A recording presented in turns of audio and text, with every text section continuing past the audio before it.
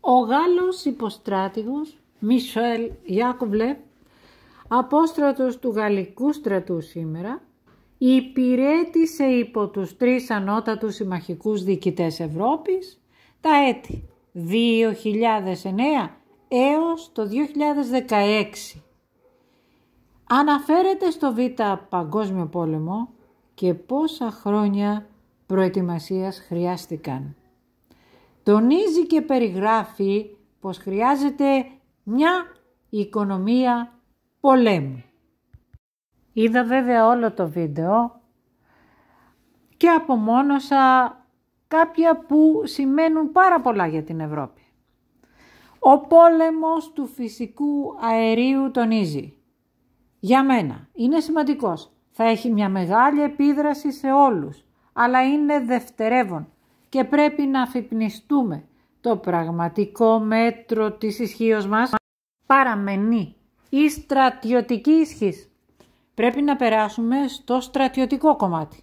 Πρέπει η Ευρώπη να αφυπνιστεί. Έπρεπε ήδη να έχουμε περάσει σε μια οικονομία πολέμου. Η Ρωσία μας κάνει πόλεμο. Κάνει πόλεμο στο ΝΑΤΟ. Κάνει πόλεμο στην παγκόσμια τάξη. Αν αυτό σημαίνει κάτι, κάνει πόλεμο στο διεθνές σύστημα αυτή τη στιγμή. Βοηθάμε τους Ουκρανούς, αλλά δεν γίνεται λόγος για επιστράτευση σε αντίθεση με τη Γαλλία το 1936 από το Λαϊκό Μέτωπο. Αυτή τη στιγμή βρισκόμαστε σε επίγουσα κατάσταση, τονίζει. Συνεχίζει. Και η γαλλική παραγωγή για πόλεμο ξεκίνησε το 1940. Απαιτούνται τρία χρόνια χονδρικά. Θα πρέπει να εισέλθουμε γρήγορα σε μια οικονομία πολέμου. Θα ακολουθήσει ένα απόσπασμα από το βίντεο. Για έγκαιρη και έγκυρη ενημέρωση. Εγγραφείτε. Κοινοποιήστε να το γνωρίσουν όλοι. Η αλήθεια πάση θυσία εδώ.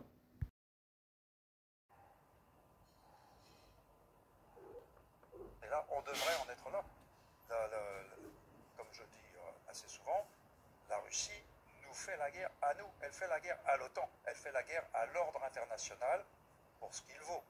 Mais elle fait la guerre au système international maintenant, pour parler poliment. Beaucoup plus. Et il se trouve que c'est en Ukraine. Mais en réalité, c'est nous la cible et on fait semblant de croire que être en guerre est une option, que nous avons l'option de ne pas en être. Alors, nous ne sommes pas inactifs, nous aidons les Ukrainiens, mais tant qu'on n'aura pas un discours de mobilisation, le même discours qu'en France en 1936, le Front populaire a eu. Je veux dire, maintenant on est dans l'urgence. Et la production de guerre française commençait en 40. Il faut trois ans, en gros.